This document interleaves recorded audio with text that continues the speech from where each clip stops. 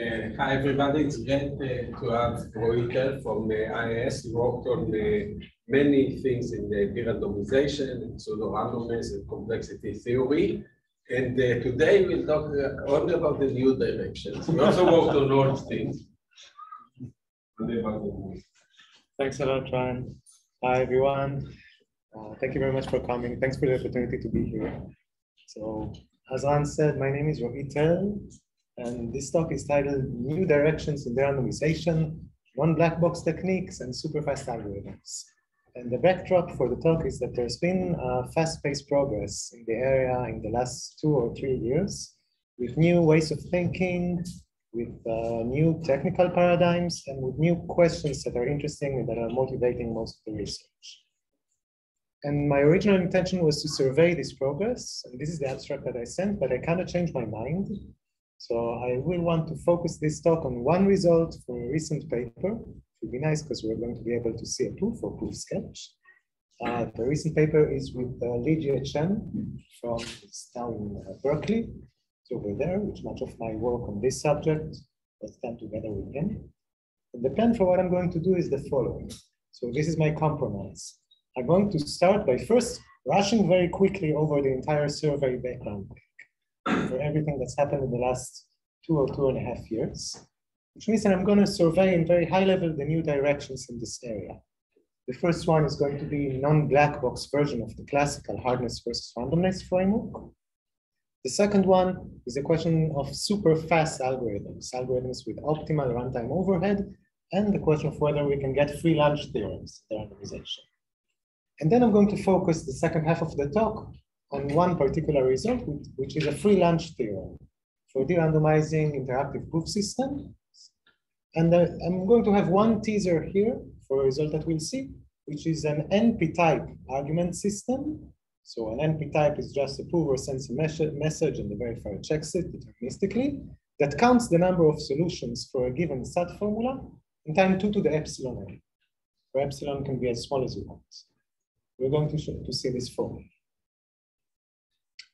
Please feel free to interrupt, to interrupt me. It's nicer for me that way. So don't hesitate. So, okay, we'll start with the background, which is the new directions. I'm going to first talk about non-black box techniques, which do the randomization while avoiding the classical paradigm of PRGs. So hardness versus randomness, I'm assuming that most, if not all of you have heard of it. This is the main paradigm in the area of randomization. It started in the early 80s and then crystallized into what we know today in every textbook, in every complexity one-on-one course, one-on-one course, in the late 80s and early 90s, and it, it continued to develop. There are actually even a couple of questions that are still open and really interesting here, so it's still being developed. But most of what we know is from the early 90s and late 80s. Sorry, there was a question? Oh, my bad.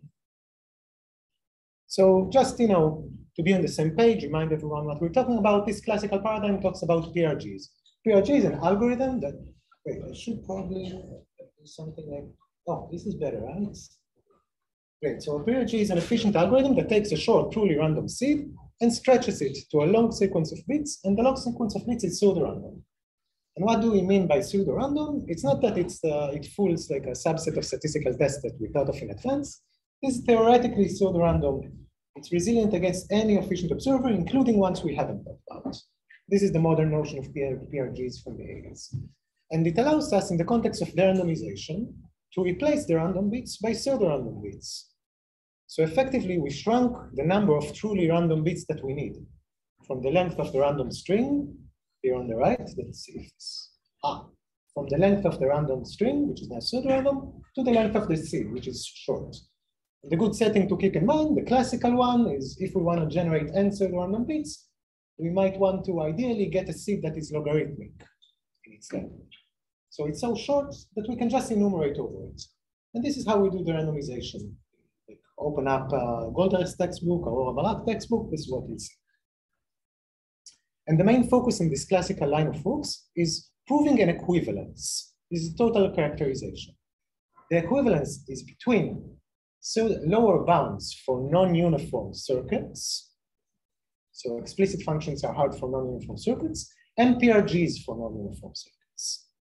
And then we're going to use these PRGs for non-uniform circuits for de-randomizing. For example, for showing that BPP equals. And it's a good point to just stop for like a second and point at something weird. I'm not sure how many people have this uh, well in mind. Like, okay, why do we need a PRG for circuits if you just want to randomize BPP? Gonna give a second. It's weird. So far, I, talked about randomization of algorithms, and now I'm talking about an equivalence between lower bounds for circuits and PRGs for circuits. I inserted the notion of non-uniformity into the conversation under the rug without explaining. So when we want to de-randomize algorithms, we're taking an algorithm and we're also taking an input, right? We want to simulate a probabilistic algorithm on a given input. And that input could give some kind of auxiliary advice to the algorithm, which helps it break the PRG. So the actual distinguisher, the adversary, the observer that we have in mind is not just a uniform algorithm, it's an algorithm coupled with advice, which gives a circuit. Okay, so just uh, as the canonical example for this classical equivalence, this is a result of Impagliazzo and Wigderson from 97. So exponential time is hard for, exponent, for circuits of smaller exponential size, if and only if there are PRGs just like the one we saw. Efficient polynomial time with a logarithmic set. And to parse, this is on the left a lower bound for circuits. It says that if you take arbitrary functions in exponential time, you cannot uh, speed up their computation in general just by using non-uniformity. Non-uniformity can't help you just speed up every exponential time function. And on the right, this is the PRG that we did. And as a consequence of that, a byproduct of having this PRG, you get that BPP equals P. We use the PRG for de-randomization, just like I just mentioned. Uh, I'm going to be a bit informal. BPP and P in this talk are the promise problem versions. If you're not sure what I mean, it's a technicality. This is the version that's usually studied. And it's a classical open question of whether we really need this.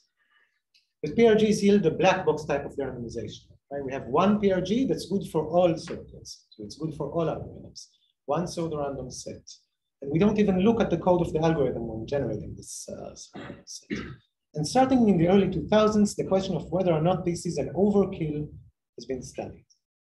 Uh, we know today from the last decade that actually for, for non-deterministic de-randomization, MA equals NP type of stuff, the black box approach is necessary.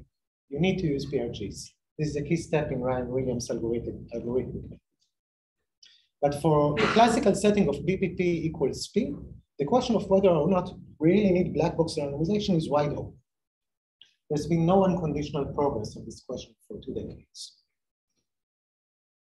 Okay, so let's dive in a bit, okay? How do we do de-randomization in complexity one-on-one or in any textbook? So we start with the complete problem. The complete problem is as follows. We get as input a description of a circuit C. It has one output bit, and we want to approximate its acceptance probability up to some small additive error. Of course, we could just sample inputs for this circuit and get a good approximation. We do it randomly, but we want to do it deterministically. This is the CAPP problem. So this is the challenge that we're trying to solve.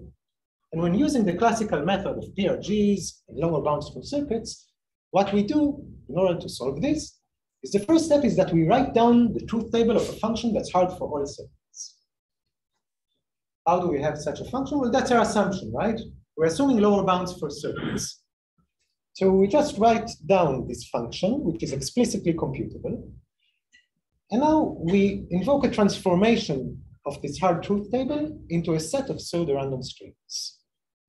This is Nisan Wigderson type of stuff. We know other kinds of transformations. It, it uses uh, technical tools that you know, error correcting codes, polynomials, combinatorial designs, hash functions. There are several, several families of transformations. They're known, they're classical, so they allow us to map this function into a pseudo-random set. And in the end, we evaluate the circuit of the pseudo-random set and we output the majority. Like the circuit should behave just the same as it behaves on a truly random string. And the classical analysis shows that if the function is hard, then this works, it fools the circuit. And of course, when you look at it, the first thing you notice is that it's really annoying. This makes no sense. we had a circuit on our heads, the circuit C. And the first thing that we did in this algorithm is to completely forget about it and then just write down from thin air, from the heavens, from our heads, a truth table that is hard for uh, circuits. And the new approach is based on this natural and simple idea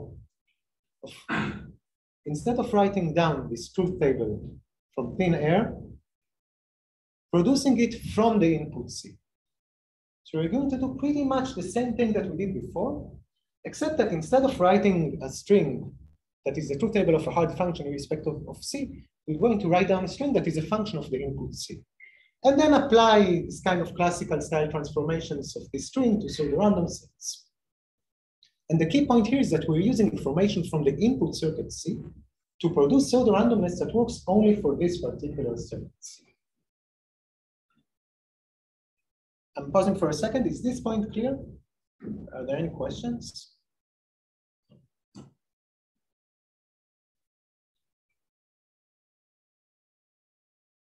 Overly clear or overly unclear? This is like when there's silence, it's one of the two options. I see some notes. Oh, yeah. Uh, so if it takes C as also a part of if this function is explicit. Oh, well, I haven't said anything about what this function is yet, yeah. right? So earlier, this was a truth table. So it was a function that, you know, this is the truth table of the function. Now it's just some transformation. And of course, I'm going, this algorithm, I, I want it to run in efficient, efficiently and deterministically. So of course, this is going to be a way to efficiently and deterministically transform C into this string. But I haven't said what the properties of this are, because in every result it's different. I'm just thinking that then you have a, like, C also has a part of it. It's like also Of course, we're going to make some assumptions. Okay. So, uh, I'm just thinking that uh, something Of course, we're going to see it in a couple of slides, but of course, that's the main point, right? Right, good. Okay, so going back to the previous picture of a PRG, earlier the PRG took a short random seed and stretched it. Now this is uh, what we call a targeted PRG. It takes a short random seed and a description of an observer, and it produces a long sequence of pseudo-random bits that are pseudo-random only to this specific observer. And actually this object was defined about 12 years ago by Goldreich. And uh, this is exactly the object that we just saw. And the point is exactly as you now asked, we're going to get randomization from inherently weaker assumptions that avoid circuit lower bounds and only discuss lower bounds for Turing machine, for uniform algorithms. And they're seemingly the right type of assumptions. These are lower bounds for probabilistic Turing machines. And this, uh, I'm, I'm really hand wavy because this is, this is just the background, but it yields a new framework for hardness versus randomness. It's robust to perturbations in the assumption. You get the same perturbation in the conclusion. It scales quantitatively in all directions. You can extend it to proof systems, to small space, to parallel algorithms. It works just as well as the original framework. And you know, this idea of using the input to produce randomness for the input, it's not radical. It's the first thing that you try. Right? It's, not, it's not something crazy. And it has been tried for several decades. There has been one successful line of works initiated by Goldreich and Wigderson 20 years ago. But this uh, kind of framework is completely new. It's inherently different from the previous attempts, and it gets much stronger results from weaker assumptions. So this is uh, the new Yeah. Well, we I'm, I'm going to get to that in exactly two slides. Okay, so of course, to materialize, I, I, said people have been trying to do this. So to materialize this now, we're going to need some creative ideas. And there have been several new creative ideas in the last several years. So what is this function f, you asked? So for example, it could be, the string could be a direct product of a hard function on the substrings of it. Or it could be, think of f as a hard function, but take this string to be the computational history of the hard function, which should also be or again, f could be a hard function and take this string to be the prover strategies in a doubly efficient proof system that asserts this value. So go wild. There's lots of things you can do here. You, you don't have to just uh, stick to the old way of just evaluating the hard function. Okay, and this goes to your question right now. So the focal point of uh, studying this non-black box type of randomization is the following. So we knew that lower bounds for circuits are equivalent to PRGs for circuits. And we're now looking to see what are the right hypotheses for a statement that characterizes the statement BPP equals P, promise BPP equals promise. Trying to characterize de-randomization and understand it, because it's equivalent to something, just not, we, we don't know at the moment that it's equivalent to circuit lower bounds. And uh, there's been a sequence of recent results. There have been several equivalences proved, already published, another equivalence that strengthens and generalizes them coming up. But there is uh, one natural major conjecture from a paper of Lijie and mine from a year and a half ago that uh, got a lot of attention and still unproved. I really like it. It's like a natural characterization. It's, it's a thing that you like and like you automatically believe that it's true. We, we got two implications, but we're not there yet. So the question of characterizing BPP equals P is the focal point here. There are partial results. There's still a lot of work to do. So it's a major conjecture. This is one direction. The other direction is a question of super fast algorithms and free lunch theorems. So going back to classical results, the ones that we just saw, they say that, okay, in the conclusion, we have that BPP equals P, which implies that for any time bound T, you can simulate probabilistic time T in deterministic time T to the C, where C is a constant.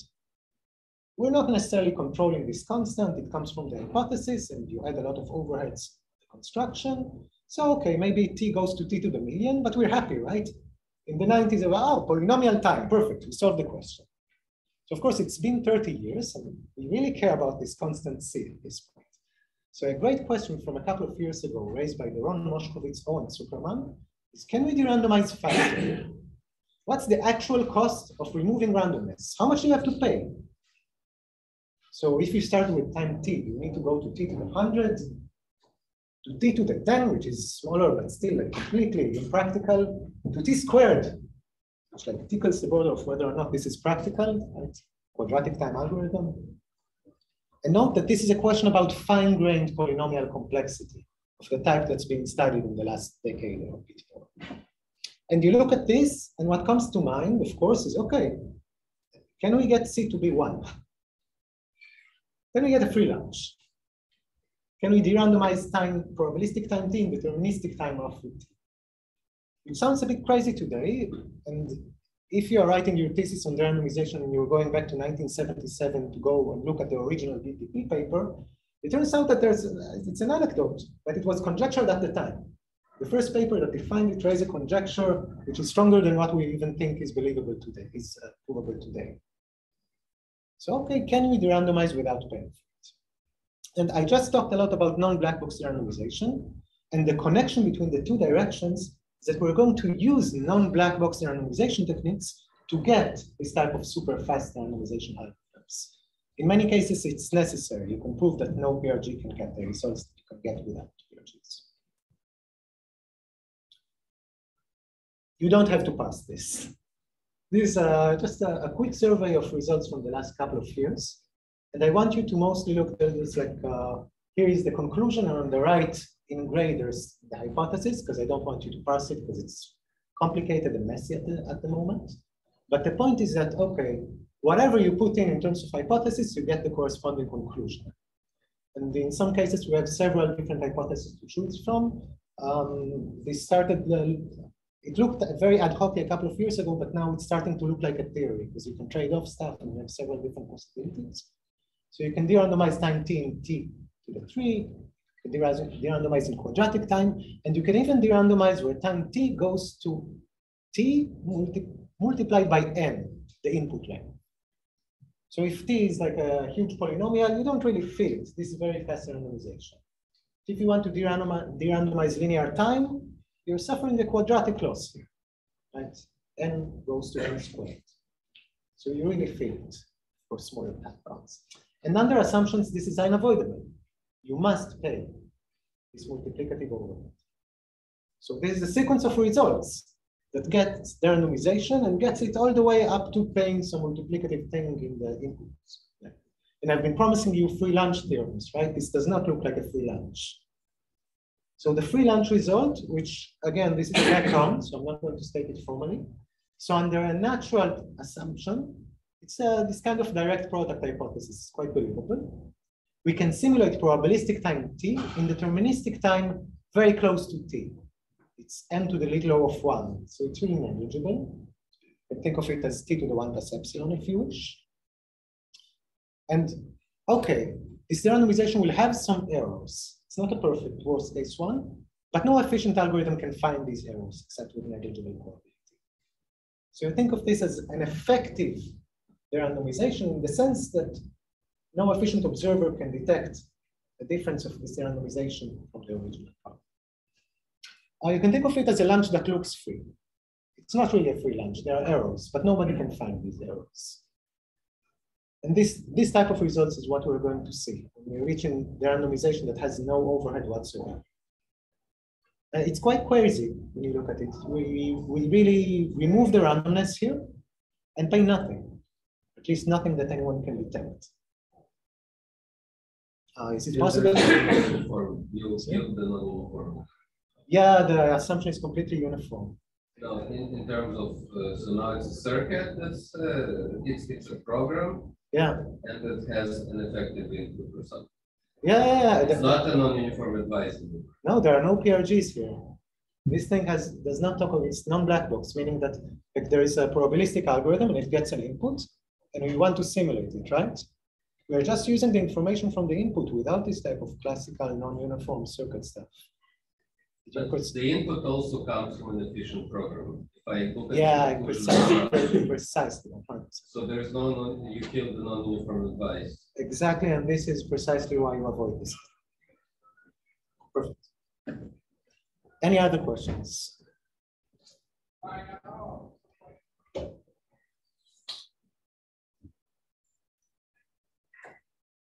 Thanks for closing the door.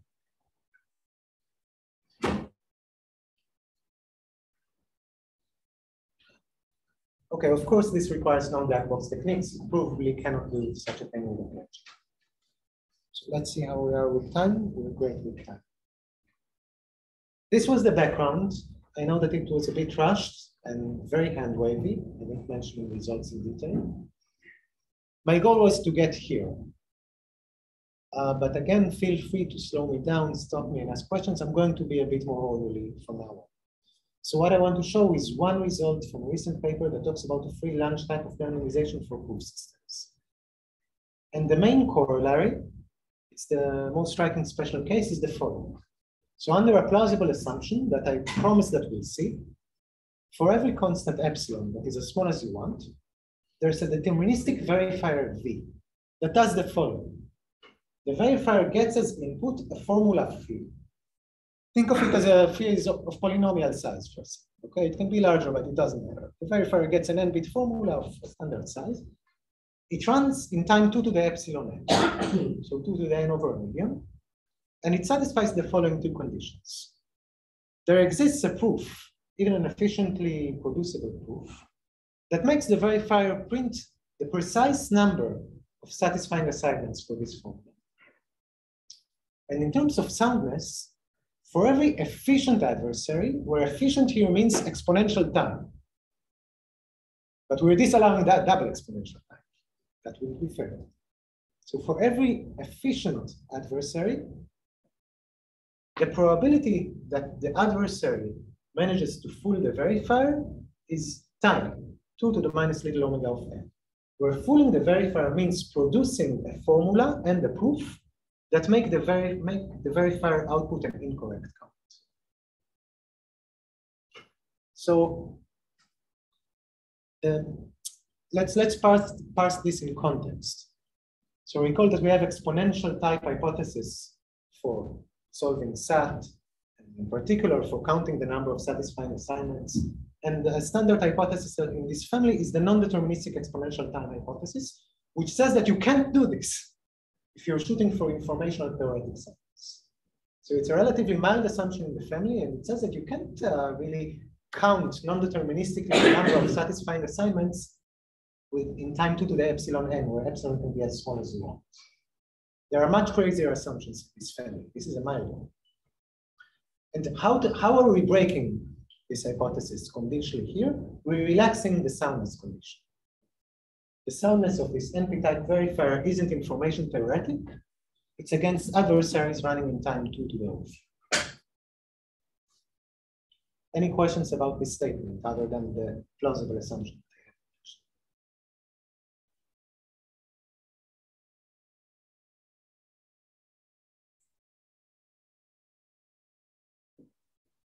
All right.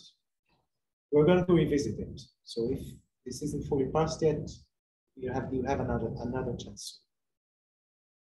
So how does this even relate to anything that I talked about, right? It was uh, like an argument system with one round for sharp SAT, unclear. So our context here is doubly efficient proof systems. So just recall we're talking about a verifier and a prover talking to each other.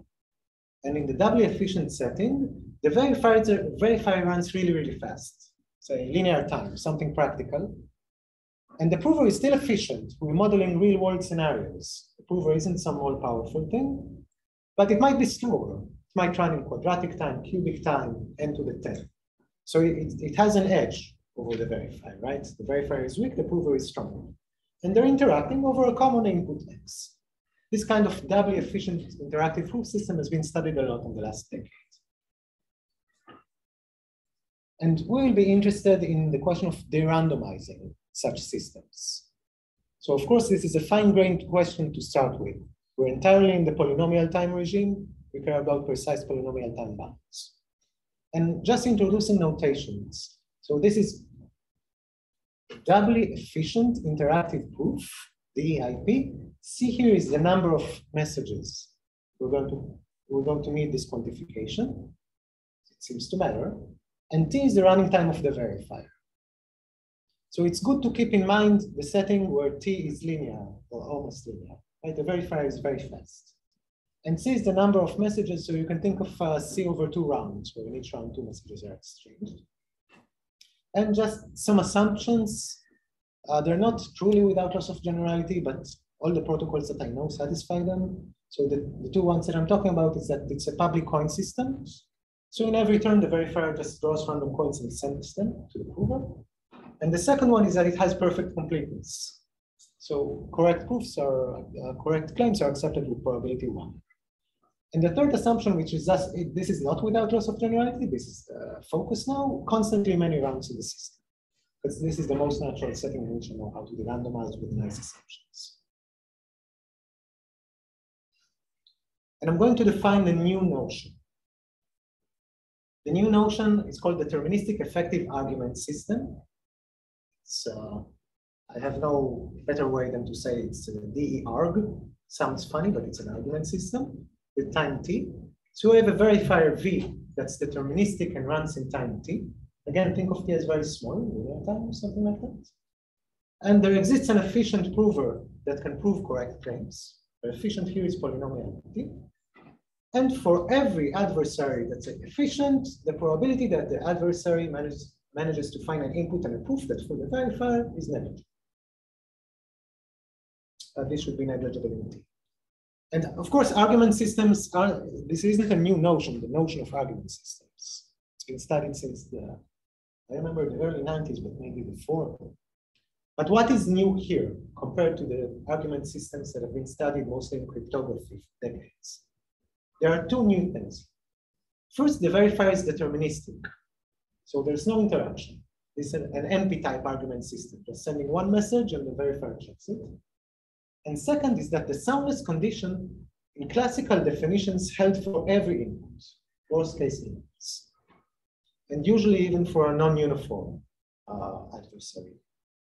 Here we are modeling real world situations a bit more uh, in a relaxed way. So we're talking about inputs that can be efficiently found. So you can think of it as a, an argument system that soundness holds on average, where on average means that over every distribution that can be efficiently set. It's a really natural, natural notion.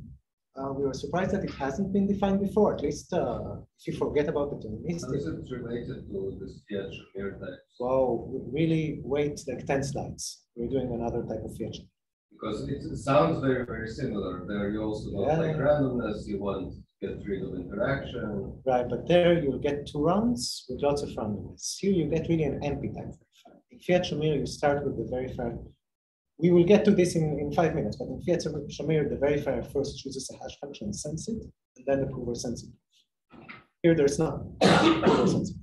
So if you want like a, a loose association, think of it as like a universal hash function. It's an overloaded term. One. Practice. Sorry? Which is what they do. Precise, exactly. 100%. There are a couple of more differences between it, but this is a great intuition. Okay, so having this definition in mind, this is the theorem under a plausible assumption that we're going to build together now. For every constant C, doubly efficient interactive proofs with C turns can be de-randomized into an NP-type argument system with basically no time overhead. And you look at this and something crazy is going on. Because first of all, we, this doesn't depend on C. Even if you started with a proof system that has a million rounds, you completely kill it without paying for the number of rounds. The, there is basically no time overhead regardless of how many rounds you start.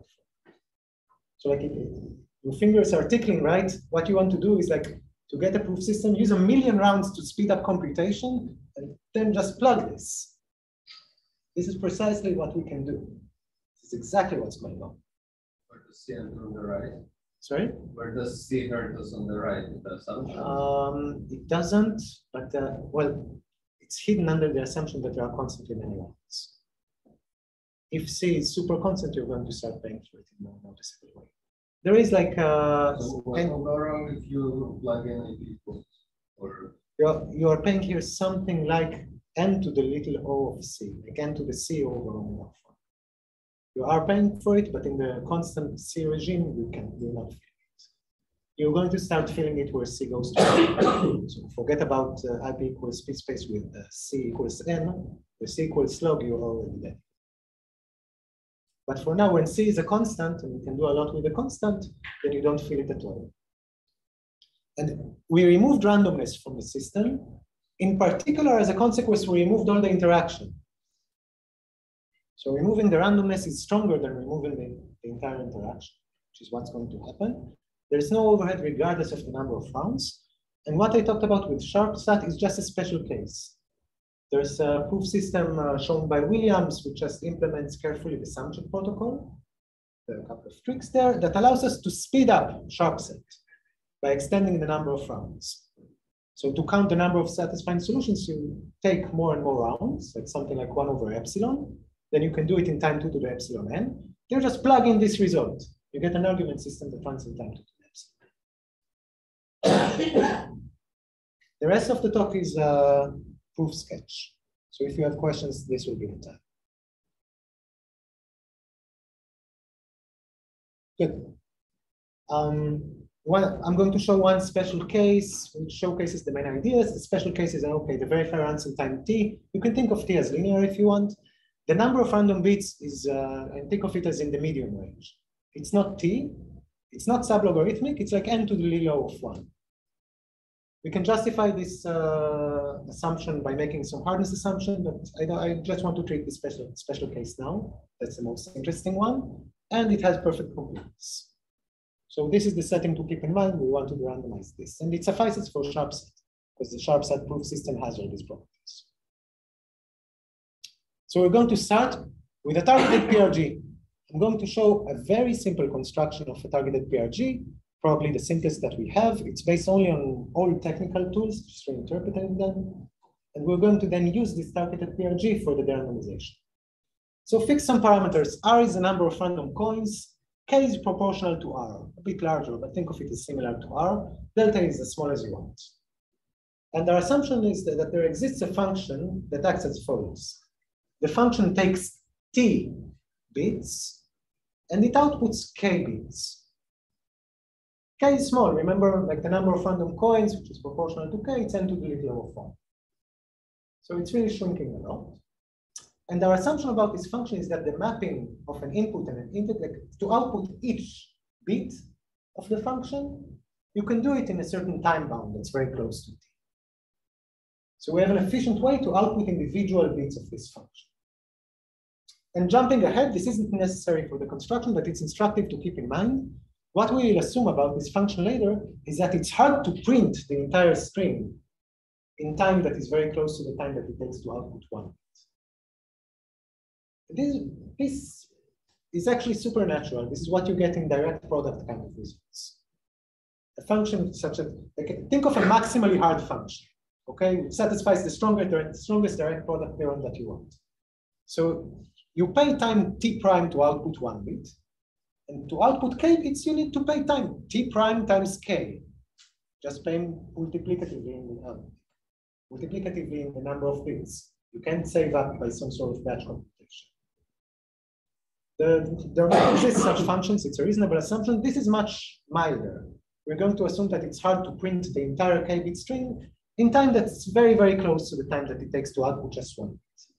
So you can't batch compute it in some very clever Okay, but for now, let's forget about the hardness assumption. We just have this assumption that individual bits can be computed in time close to t. And the lemma is that there exists a targeted PRG mapping t bits to a list of strings, strings of length r. So this is the pseudo-random set. It works very quickly in time close to t. And it satisfies something that's analogous to, stand, to classical reconstruction algorithms reconstruction algorithms tells us, okay, if there is a distinguisher for this pseudo-random set, then we can compute the hard function. This is a one-on-one one-on-one textbook stuff. You can take a distinguisher and transform it to something that computes the hard function. And since the latter doesn't exist, there is no distinguisher. But the difference here is that it's a targeted PRG, which means that it depends on the particular input. So we have a probabilistic reconstruction algorithm, right? That satisfies the following condition. For every fixed Z, Z is the T-bit input to the targeted PRG. If the output of the targeted PRG Z doesn't fool the distinguisher, when the distinguisher also sees Z, then the reconstruction computes the hard function on the same input set computes a hard function here means printing the entire string too quickly. So this is just as in the classical result. You take someone that breaks a PRG and you create someone that computes the hard function, except that here all the players are getting the same auxiliary input, Z. The PRG is with respect to Z, the distinguisher works when it sees Z, and the reconstruction computes a hard function on this particular How do we do this? Still good for time. So, okay, we have Z, right? This is our input. And we have a hard function. So what are you going to do, right? Just compute a hard function on Z. That's the naive thing to do here. We compute it, we have k bits. And just apply the classical stuff. Take f of z, think of it as a truth table of a hard function. So it's just something, it's a string with k bits that you produce from that set, but now think of it as a truth table of a hard function and apply the standard Nisan-Wigderson system that you know.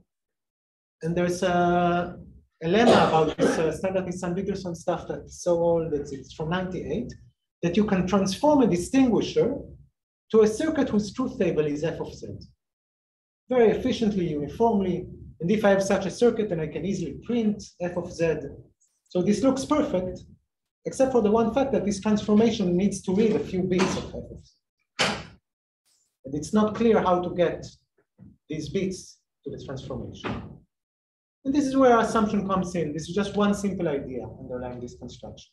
That you can answer the queries of this old algorithm by explicitly computing the bits. That was our assumption. That f is such that you can quickly compute each of its output bits. So how will the reconstruction work? Well, how do we print the entire string? We assume that we have a distinguisher. We run the old reconstruction algorithm. And whenever the reconstruction algorithm asks to get a bit of f of z, we compute it explicitly. We have z in our hands. We can do it, and we have the assumption that bits of f of z are quickly computable. And in the end, it gives us a circuit, and we evaluate the circuit and all its inputs and get we can print f of z. And I know that I'm rushing a bit. So the bottom line is that for every fixed z, if the reconstruction with the distinguisher fails to print f of z, then the targeted PRG works on this input z. So the hardness assumption will be that the reconstruction with a certain distinguisher fails to print f of z, and the conclusion would be that the targeted PRG works with this particular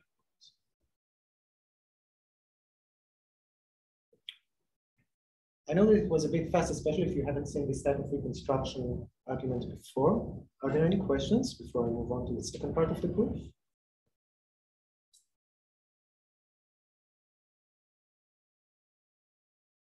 Another question about the uh, distinguisher. Is this like for a fixed distinguisher works or for any distinguisher?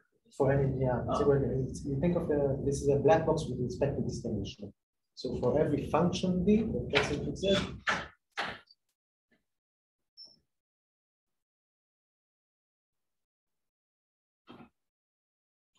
Right. So again, what's going on here is that we have a construction of a targeted PRG, and for every fixed Z, when it's hard to print the function on this Z, the targeted PRG works on this particular Z. It's instance-wise. There are tons of technical caveats. I'm lying a bit. I'm hiding, hiding details just to make this as clean as I can. This doesn't work as is, but it's close enough to reality. So what do we do? We have this targeted PRG on our hands, and we have this protocol that we run to de-randomize. The verifier sends random coins, gets approved, sends random coins, gets a approved, etc., etc. And a first misguided attempt would be to apply the PRG to the input. That's what we do with targeted PRGs. We apply them to the input. But this doesn't make sense. It doesn't work here. Because look at round three. In round three, we're going to replace the random coins by pseudo-random ones. But the test at that point of whether or not the coins are pseudo-random doesn't depend only on the input. It depends on the entire transaction of what happened up to that point. Uh, the prover and the verifier had a full conversation. The quality of the random coins depends on that conversation. So the natural idea is to use the targeted PRG in each turn with the transcript as the hard input. This is precisely what's going on in Fiat-Shamir. So in every turn, we're going to look at the transcript of the conversation that happened up to that turn, think of it as a hard input to the targeted PRG, and run the targeted PRG with that. This is how the pseudo-randomness looks. So in each turn, we instead of random coins, we have pseudo-random coins that were generated by applying a supposedly hard function to the transcript and then doing classical disambiguation type of stuff. And if you look at it, for a second, it looks alarming. Why should it work? The function might be hard, but you know, it's going to be easy on some inputs, especially with the parameter setting that we now have in mind. It's reasonable that it will, be, it will be easy on some inputs. So maybe they're rare, but they exist, in which case the targeted PRG won't work, because on those transcripts, the function is easy. So the punchline here is that when the prover is efficient, the transcript in each round comes from an efficiently samplable distribution, a conversation between two efficient uh, parties. So if we are going to assume that f is hard, with high probability over inputs that come from every polynomial time samplable distribution, this means that with high probability, the transcript is going to be hard. And the targeted PRG will work in each. So the assumptions that we're going to need about f are that it's easy to compute each bit of f, but it's hard to print the entire string f of z with high probability when z is sampled from any polynomial time sample distribution. This shrinks the number of random coins and allows us to collapse the protocol. I'm rushing through this. This is standard. And the digest of what we saw is a very simple construction of a targeted PRG. Applying this targeted PRG on the transcript in each turn as a source of hardness to get pseudo randomness. And that when the uh, prover is efficient, the transcript comes from an efficiently sampleable distribution. It suffices to get a nice uniform hardness assumption. This is the formal statement of the result. I'm wondering, I think we're out of time. So despite the fact that I promised to pass this, maybe we can do it afterwards. But this is precisely formalizing what we just said. If f is easy, it's easy to compute individual bits of it, but hard to print it in its entirety over every polynomial time sampleable distribution, then you can de-randomize interactive proofs without paying for the number of rounds, NP-type arguments. Uh, the assumption is quite plausible. Talk about it if you want. I'm just going to mention takeaways very briefly. So zooming out, going away from the particular proof and result that I just talk, talked about, we have a non-black box version of hardness versus randomness. It's a revision of the classical ones. It has many instantiations and several new constructions of targeted PRGs. Works well. Uh, the way of thinking in the last couple of years about how to do randomization avoids these classical PRGs. It goes totally in the targeted way. We have questions about super fast randomization algorithms and free lunch, removing randomness without paying for it at all, and several results indicating that this may be true. The directions are distinct. Each of them has questions that, is, that are interesting regardless of the other direction, but there's also an inherent relation. When you want to go to free lunch theorems, you need non-black box techniques. And a couple of very carefully pruned open questions. So as I said, there's a major conjecture that's unproved about equivalence of randomization to something uniform and very natural and clean. Be glad to talk about it. These free lunch theorems, we don't know if this, uh, these non, non-batch computability, direct product kind of hypotheses are necessary. So it's interesting to show either direction, either that they are necessary or theorems under weaker stuff. Uh, we have very mild evidence, like in some restricted settings, they're necessary. But the settings are quite restricted. And something that's particular to the result that we just saw, just to this particular result, I, I presented a new notion, right? Argument systems that work on average. If it's supernatural, it should be explored on its own right. If you're interested, there's a workshop on this in FOCS. There's a great lineup of speakers. Please join if you're there. Um, both in my website and in EGS website, we have uh, tons of available papers, slide decks from talks. We have nice diagrams and pictures. We use TikZ across the board. I invite you to take a look. And we also like emails, so please feel more than welcome to just send me an email if you're curious. That's it. Thank you very much for listening.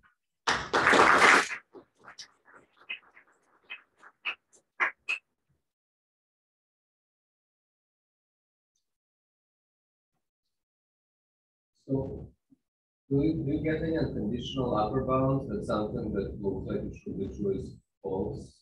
Or at least one of two things? No. Like Yes. too fast, can you use it to speed up sharp in some model or? Well, just going back, you're basically asking about this slide, right? Yeah. So actually, this can even be true if you change two to the epsilon n to polynomial time, it breaks down. we don't know how to prove it, but it's possible that it's possible to even prove it in this way. It doesn't break any th, it doesn't break any of the sample assumptions. Speed up sharp SAT? Well, by an, but in an argument system, not in an NP type system. That's the difference.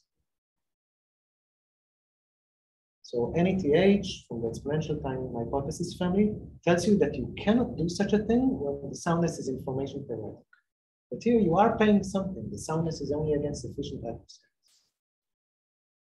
This is what allows us to bypass this exponential time hypothesis and get very, very fast So if you try to do sharp SAT and then used, even if you had non-determinism, this is consistent with sharp SAT requiring exponential. This is consistent with sharp SAT requiring time, you know, the strong exponential time hypothesis, requiring time, Non-deterministic. yeah. Requiring time two to the one minus epsilon n. This is consistent with that. What this demonstrates to, demonstrates to you, like what I learned from this, is that by relaxing the soundness to be computational, you can get an amazing spin. So because B is still allowed to run natural time. Yeah. So this is basically kind of like it.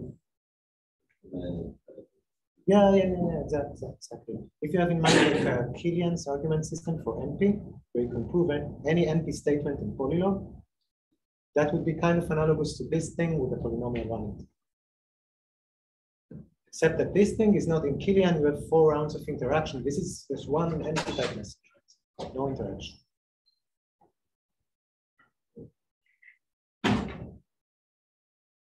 And uh, those limits on Fiat Shamir from cryptographers, teach us anything here?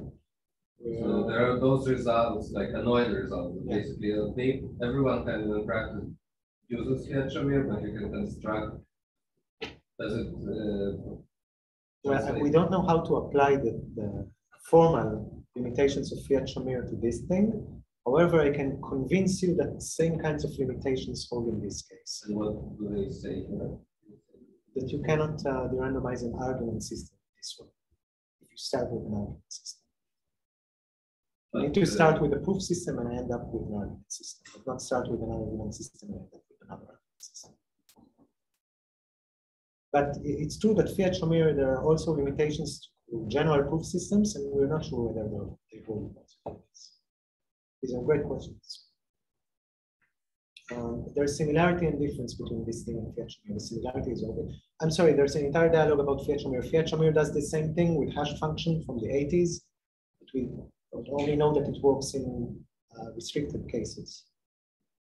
So uh, the similarity is obvious. The difference is that, again, here you're deterministic, of course, but there's another crucial difference. In Fiat you're just using a hash function. So it's the simplest thing you can think of, right? Some linear time, whatever. Here you're using a hard function necessarily. So you're going to increase everybody's running time. And that turns out to be really important. Even if the increase is minor. Any questions? Thanks. Thank you very much.